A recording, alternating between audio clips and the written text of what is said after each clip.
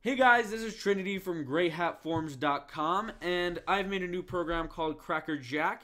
And what Crackerjack does is it cracks MD5 hashes. Now, what MD5 hashes are is a security feature that most databases um, incorporate. Not exactly MD5, but most databases, if they're very, if they're good databases at all, should incorporate some type of hashing. The most common used is probably MD5. Um, it's not secure, but most databases use them. Um, and this tool can crack MD5 hashes. So what you do is you SQL inject a database, you get their database, um, their users, emails, passwords, all that good stuff.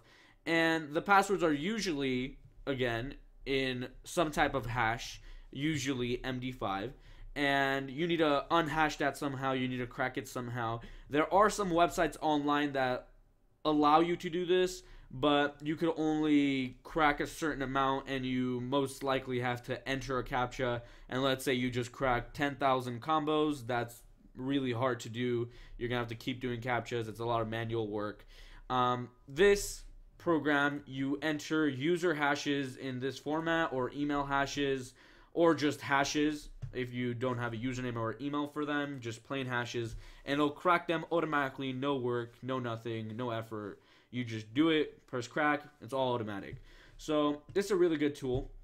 So before I show you how the actual cracking uh, works, I'm going to show you about the toolbox feature over here. And what the toolbox feature is, is a little thing that I added because I've been SQL injecting some databases and I thought that this would be a good tool to include in here. So this is an example database right here. Um, and usually when you SQL inject uh, a database, I did this manually, so it looks like this. You probably won't get it like this, but this could still be used for a number of things.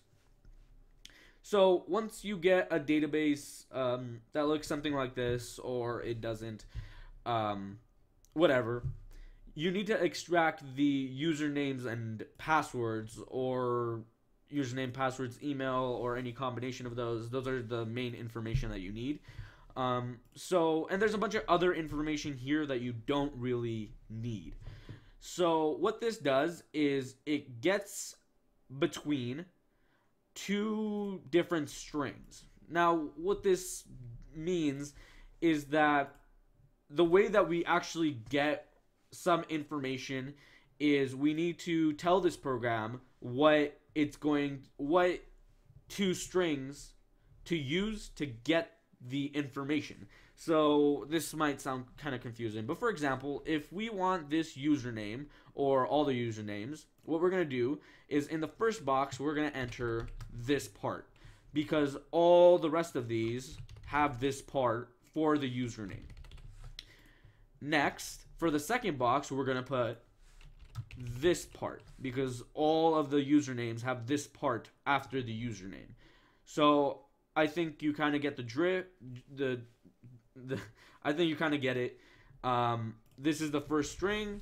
This the second string. Get in between. This is what's in between. So it's going to give us the usernames. So to show you how this works, paste this here. Paste this here. Get and there we go. We have all of the usernames.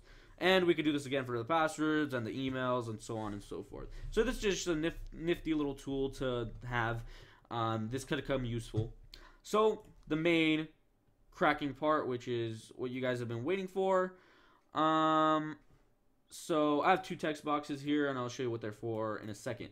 So this program can crack users and hashes in this format, or emails and hashes in this format, or even just hashes. So user and hashes would be something like this. Just hashes would be something like this. And you, of course, you could put emails here as well. It doesn't really matter.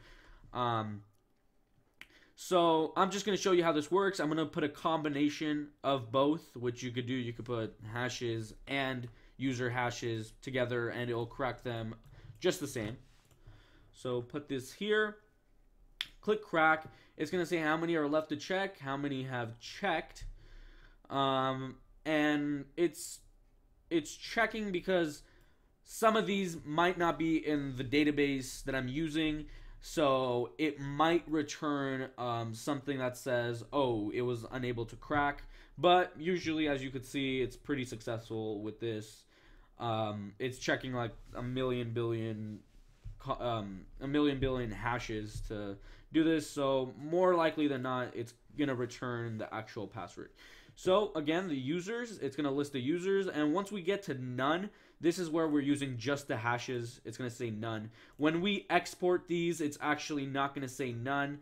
Uh, once we export these, it's going to say the username, which in this example is hello, colon, and then the password. Instead of here where it's colon the hash, the hash has been cracked, so it's going to say uh, hello, colon, password. And this is what this text box is for. This is an example of the output.